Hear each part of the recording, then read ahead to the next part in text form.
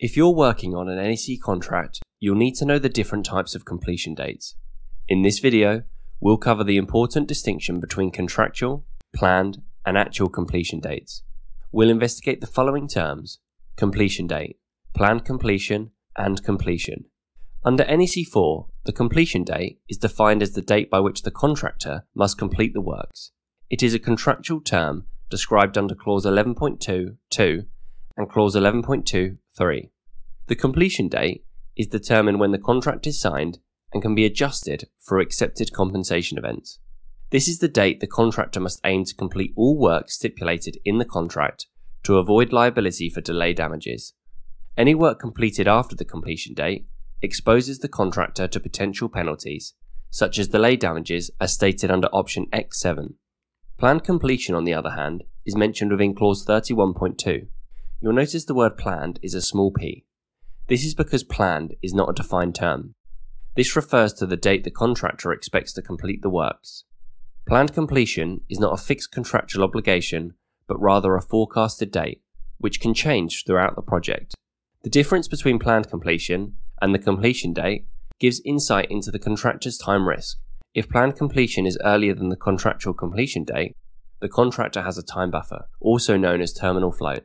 If it's later, the contractor is at risk of delay and potential liability for damages. Key differences Completion date. This is a contractually binding date stated in the contract by which all works must be completed, subject to any agreed extensions. Planned completion. This is a dynamic, non binding date that is regularly updated in the program to reflect the contractor's progress and anticipated completion. The contractual completion date can be extended through compensation events, as defined under Clause 60. When such events occur, they may delay the project, and the contractor can notify for an extension under Clause 61.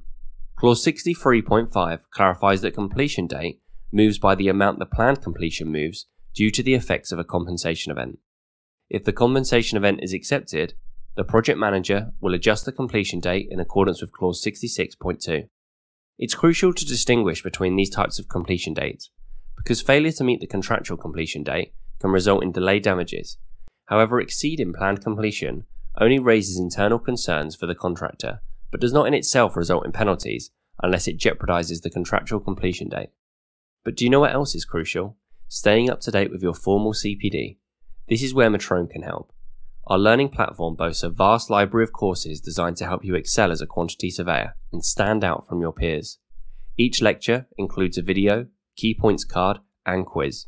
Upon completing a course, you will receive a personalised certificate which can be used for formal CPD. Simply visit metroun.co.uk or follow the link in the description. In practice, a contractor should aim to keep the planned completion earlier than or in line with the completion date. Regular updates to the programme within the defined timeframe as per clause 32 are required to reflect the latest planned completion.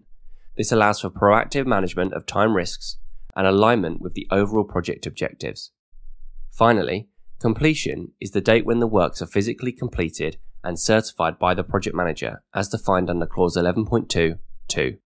Actual completion is significant because it is used to determine if the works were completed before or after the contractual completion date.